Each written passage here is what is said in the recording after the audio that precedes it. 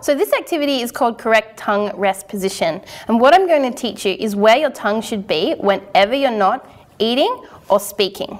So I want you to look straight ahead in the mirror for me and open up a little bit. Very good. I want you to put the tip of your tongue where your tongue tag would be on your Myobrace. Very good. So the tip of your tongue should be right behind your front teeth, but not touching them, and make sure they're away from your bottom teeth. Very good. That's perfect. So just relax your lips together.